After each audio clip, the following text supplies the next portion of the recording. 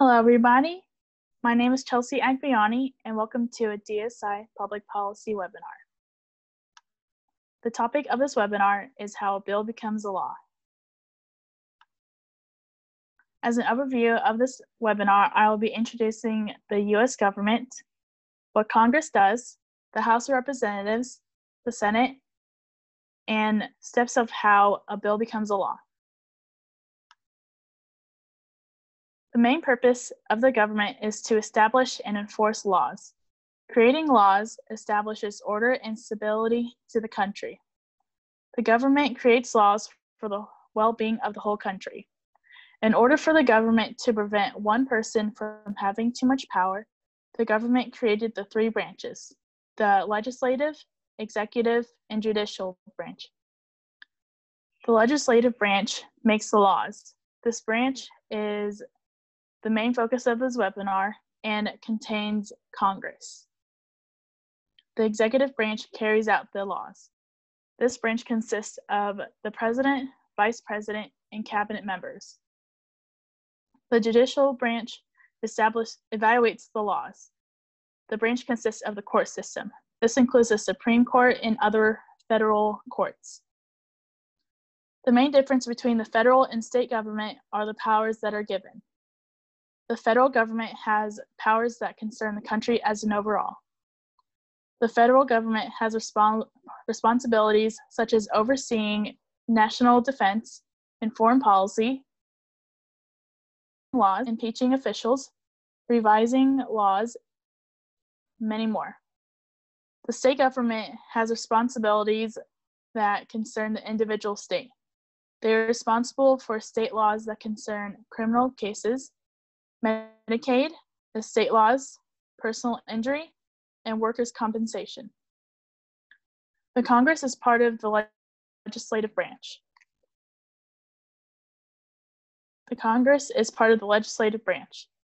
The members of Congress have many responsibilities, including making laws, declaring war, impeaching and trying federal officials, and improving, approving treaties. The Congress consists of two houses the House of Representatives and the Senate. A member of Congress is called a legislator. The number of members in the House of Representatives are based off of how large the population is in each state. A member of the House of Representatives are also called representatives.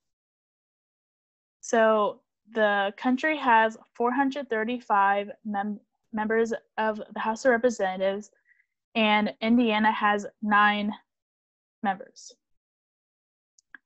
The representatives have the responsibility to impeach federal officials, electing the president, and making laws.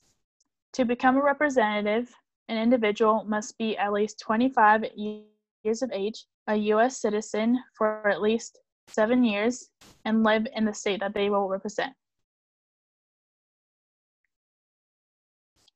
Each state in the country has two members of the Senate, so altogether, the country has 100 members of the Senate. Members of the Senate are also called senators. The senators have the responsibility to approve or reject presidential nominations, trying impeachments, and making laws. To become a senator, an individual must be at least 30 years of age, a U.S. citizen for at least nine years, and live in the state they will represent. The first step of how a bill becomes a law is drafting a bill. Each bill begins with an idea. There could be a safety concern in a town that someone feels like isn't is important to change. For example, seatbelts became a law based off of a vehicle safety concern. If you or someone you know has a concern, you can voice your concerns to your legislator.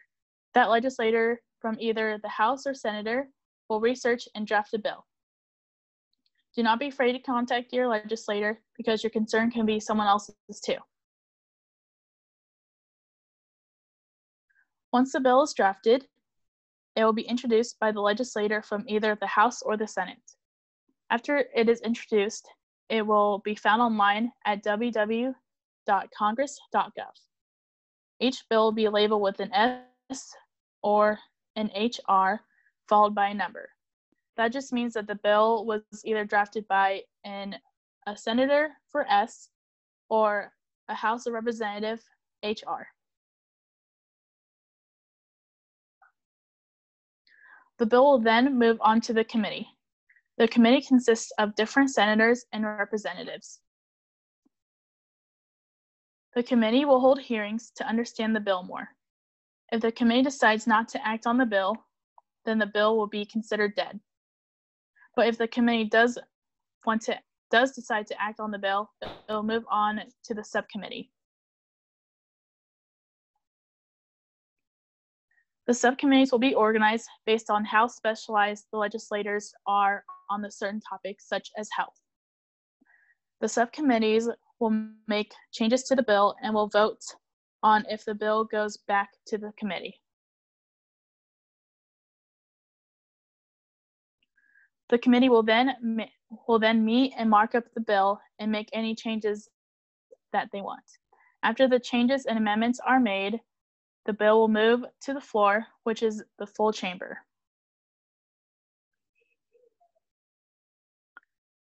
The bill will then be moved to the full chamber. There will be more debate, and the members will vote on approving the amendments. The bill will pass to the next chamber or not based on the members' votes. Once the bill passes the House or the Senate chamber, it will move on to the other chamber and be voted on before getting passed to the president. So if the House created the bill and is passed by their chamber, then that bill cannot be changed and will move from the House chamber to the Senate chamber to be voted on if it wants to be passed also, and vice versa. Once both chambers approve the bill, it will be moved on to the president for final approval. Once the bill is voted on to pass by both houses, the president will have the final say in if the bill becomes a law. If the president approves, the bill becomes a law. If the president does not act within 10 days, then the bill will become a law. If the president opposes a bill, it, w- it will be vetoed. And that veto can be overridden. Members of Congress can override a veto bill if two thirds of both houses vote on passing the bill.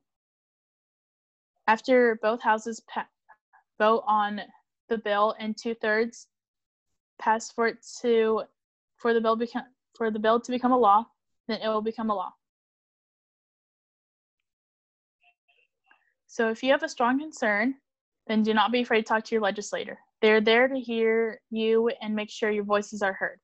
So speak your voice and you can make a strong impact. Thank you for your time. And for more information, please email ds dsindiana.org. Thank you.